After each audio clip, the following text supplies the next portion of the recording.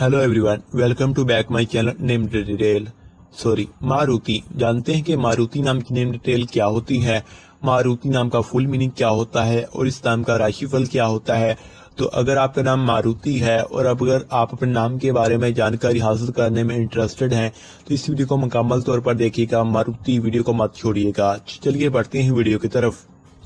मारुति। मारुति का मीनिंग होता है, लॉर्ड हनुमान के होते हैं। जी, हनुमान के होते हैं। ये होता है मारुति नाम की लड़कियों के लिए, इनका फुल मीनिंग होता है। मारुति नाम के व्यक्ति की जो होते हैं, इनका नेमोलॉजी नंबर नाइन होता है। यानी कि नौ नंबर इनके लिए काफ़ी ज़्यादा सुंदर और इनके लिए काफ़ी ज़्यादा अच्छा होता है मारुति नाम के व्यक्ति के लिए।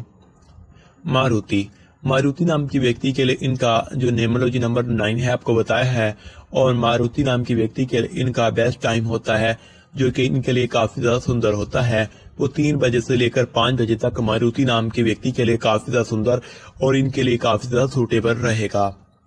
मारुति नाम के व्यक्ति के लिए इनके जो लकी डेज़ होते हैं, वो संडे होता है। यानी कि इतवार, मंगल और जुमेरात मारुति नाम के व्यक्ति के लिए काफ़ी ज़्यादा अच्छा रहेगा। चलिए बढ़ते हैं। मारुति नाम के व्यक्ति की राशि जानते हैं। करेक्टरिस्टिक्स जानते हैं, यानी कि इस नाम के व्यक्ति कैसे होते हैं?